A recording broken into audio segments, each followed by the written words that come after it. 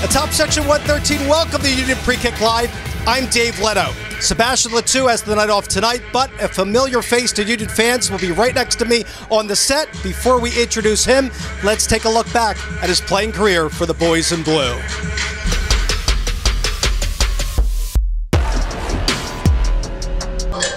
Tonight, I am pleased to be joined by former Union defender Sheanon Williams, who played with the Union over 140 appearances from 2010 to 2015. Thanks so much for joining us this evening. Dave, thanks for having me. It's exciting to be back, and it's exciting uh, to be here for the second game of the season here uh, here at Subaru Park. Really looking forward to the broadcast tonight. What have been your overall impressions of the team in both CONCACAF Champions League action and MLS play? The team's had a great start to the season, I think, moving forward. Well, speaking of Langa Foundation, the Union are coming off of a colossal victory on Tuesday night. The Champions League action at the quarterfinals, a 3 0 win in Atlanta with all three goals coming in the second half. Kacper Przybyłko has been on a tear with four goals at CCL play. You were right back for the Union, playing right in front of Andre Blake. We were talking right before the broadcast that you were here when Andre got drafted in 2014. What has he meant for the club from the time when he first got to the Union here in Chester until this point? Yeah, watching Andre develop since he's come to the Union is, is definitely a huge step on why they've taken the next step and, and been Supporter Shield winners. Gearing up for the 13th regular season meeting against New York City FC at the bottom of the hour. Top section 113. Welcome to Union Pre Kick Live with Sheanon Williams. I'm Dave Leno. Sheanon, it's now time for Eye on the Pitch.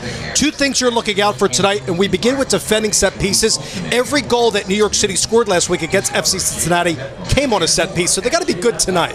Absolutely. Five goals on set pieces. It's definitely got to be something that the Union key on key in on tonight and do a good job of uh, not giving up silly fouls in and around the box to give quality players free service into the box for, for good runners and, and some some definitely some height that they'll have out there. Yeah, I know a lot of Union fans were very disappointed to see Gonzalo Higuain just peel off that back shoulder of Leon Flach and get that goal from his brother, Federico Higuain, who came in off the bench. And your second point is being better in possession tonight against the wingbacks of New York City FC.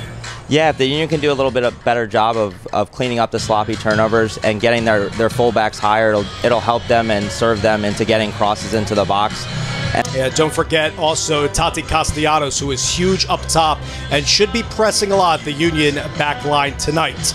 And with more for tonight's match, we say hello for the first time upstairs inside the booth to JP Dellacamera and Danny Higginbottom. Thank you, Dave. Danny, third game in eight nights and a big game on Tuesday against Atlanta. How does this team, the Union, put this game into perspective?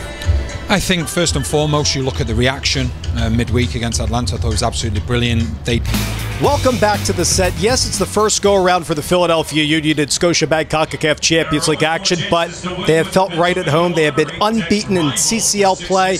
And on Tuesday night, it was a lackluster first half. Andre Blake was huge, but the second half was a different story, and it turned out to be a landmark 3 0 victory for the Philadelphia Union.